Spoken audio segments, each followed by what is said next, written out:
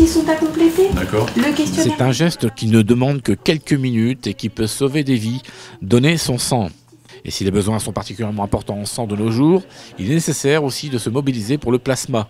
Les dons ne se font qu'uniquement dans les maisons du don de l'EFS, comme ici, à Arras. Quand on donne son plasma, on est branché à un séparateur, ce qu'on appelle un séparateur. Et ces machines ne peuvent pas bouger. Et on va vous prélever environ 750 ml de plasma. Et en fait, donc c'est la partie liquide. Pourquoi il en manque beaucoup? Parce qu'on a découvert qu'on pouvait faire beaucoup de médicaments à partir du plasma. Plus on a de plasma, mieux c'est. Il faut savoir que la maison du don d'Arras doit prélever à peu près 175 poches, au minimum 175 poches de plasma par semaine. Malheureusement, aujourd'hui, on en est très très loin, puisque la semaine dernière, on était à 120 à peu près. Un don de sang, c'est à peu près entre 8 et 10 minutes. Et un don de plasma, c'est entre 45 minutes et 1 heure. Tout au long de l'année, le FS d'Arras collabore avec de nombreuses associations du bassin arageois, comme ici avec l'association de donneurs de sang bénévoles d'Abla Saint-Nazaire, qui a proposé dernièrement sa toute première collecte. L'association a été créée en janvier, le 11 janvier 2023. On est chargé de promouvoir le don de sang, la cause du don de sang, du don de moelle osseuse également. Il y a, il y a d'autres dons qui peuvent venir se greffer, mais la cause principale, c'est le don de sang, le don de plasma, le don de plaquettes. On essaie d'impulser une dynamique euh, de don et de rappeler aux gens qu'il est très important de donner, euh, de son sang, un peu de son temps et un peu de sang. Parfois, les gens ne, sautent pas le pas euh, du fait de la piqûre, mais en général, ça se passe vraiment en grande majorité de façon super. Affiliée à l'Union départementale du Pas-de-Calais du don du sang, la DSB Ablin compte une trentaine de membres. Pendant que l'EFS d'Arras gère la partie des prélèvements, tous les bénévoles ont un travail très actif pour une telle mise en place. Euh, je suis infirmière de métier, donc je suis sensibilisée aussi euh, à ça. Donc moi là je suis sur plutôt la partie accueil.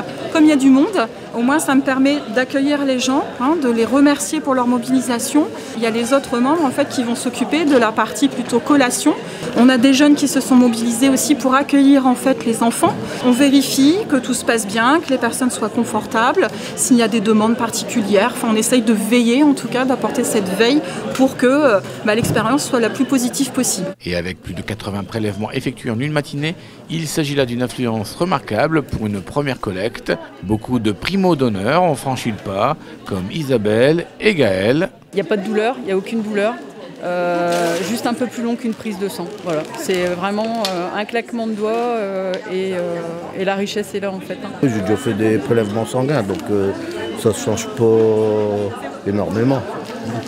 Mais la quantité est pas la même. Ouais, mais bon, il en restera. Mais aussi des donneurs réguliers comme Aurélie et Josiane, qui n'hésitent pas à rappeler l'importance du don. Il faut donner. Voilà. voilà. Ça prend que quelques minutes euh, dans une journée, mais il faut donner, c'est important. euh, on en a tous besoin.